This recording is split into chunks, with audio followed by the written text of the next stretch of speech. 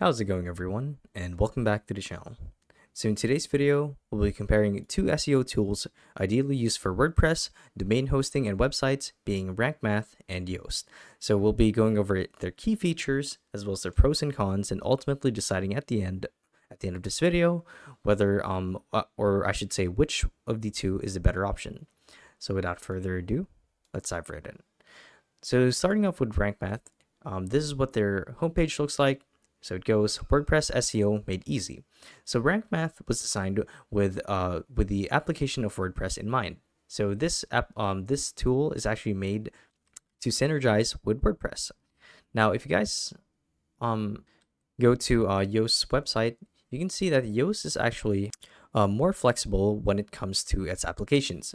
So it's not limited to just WordPress. You can also use Yoast for a couple of different platforms such as Wix, Shopify, and other things as well. So it's not exclusive for the application of WordPress. But going back to Rank Math, as you can see here, here's what it looks like. To actually install it, you know, all you guys have to do is go to um, your Shopify store, go to the Shopify App Store, and then look for Rank Math and simply download it. So the cool thing about this is it's actually free. Now, while there are some packages that come with more features and um, uh, access to um, more data and space, or like a bigger database for keywords, um, the fact remains that um, Rank Math actually comes for free.